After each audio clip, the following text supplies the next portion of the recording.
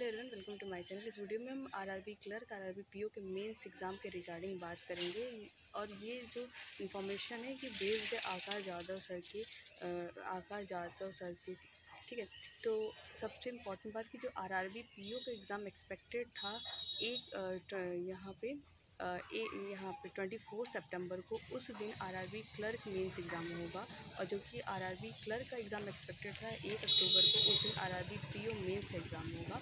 ये ये एग्ज़ाम ये जो डेट्स है वो टेंटेटिव है according to according to Akash Yadav sir